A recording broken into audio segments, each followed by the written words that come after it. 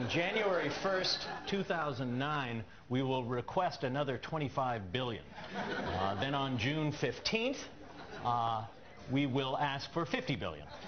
On September 30th, another 50 billion. Then, provided there's a rebound in new car sales, on December 15th, 100 billion. The USA in your Chevrolet. America is asking you to call. Drive your Chevrolet. In 2008, sales of Ford cars and trucks fell 21%.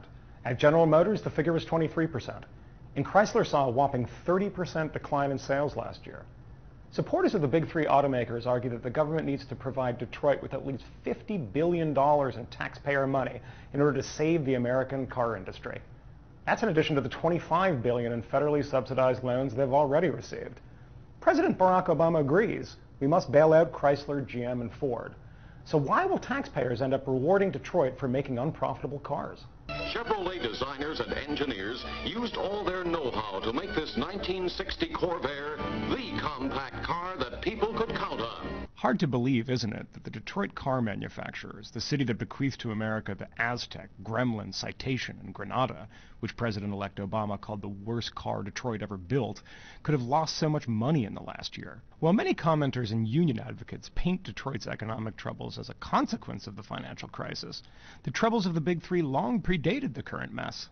In 2007, for instance, the Japanese car manufacturer Toyota pulled in massive profits while selling fewer cars than General Motors, who during the same period were losing billions. We asked University of Maryland professor Peter Morici why Detroit was losing so much money while Toyota was cleaning up. The basic problem is their labor costs are too high they have legacy costs from the past, and they're burdened by debt. It's absolutely absurd to think that you can pay $75 an hour in wages and benefits and make cars successfully in North America or any place else. The United States has a competitive advantage in making cars if the labor costs are adequately aligned because those automakers are, are expanding. There's nothing particularly superior about the engineering in a Toyota. But bailout supporters, using much disputed figures provided by the Automotive Institute, an auto industry associated think tank, claim that if the big three are allowed to fail, approximately 3 million jobs will be lost. But that's not going to happen.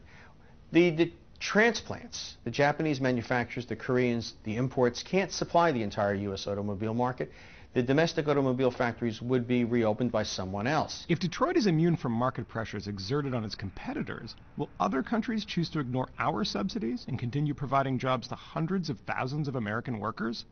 If union bosses insist on securing exorbitant wages for its members, wages far higher than any other car manufacturer in the world, but American consumers aren't willing to pay extra costs for an inferior product, should Washington bilk the taxpayer to fund cars it didn't want in the first place?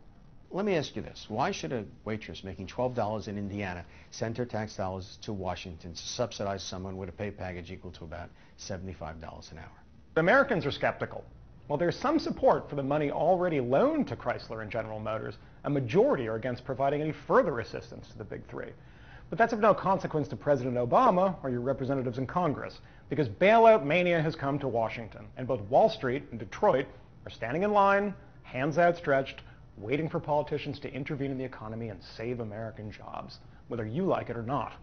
For Reason TV, I'm Michael Moynihan. America's the greatest land of all. On a highway or a road along a levee. Performance is sweeter. Nothing can... Congressman, with all due respect, we are not talking about a gift or a subsidy. We are talking about a loan. A loan on which you will mostly certainly default.